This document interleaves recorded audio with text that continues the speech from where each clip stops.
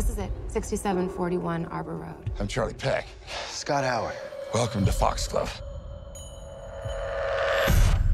My great great grandfather built this house. It's the only house I ever lived in. I put my soul into it. Foxglove is yours now. We'll take good care of her. Yeah, it's hard to, hard to say goodbye. I keep hearing this creaking sound. Manny, it's an old house. You know his wife died in that house.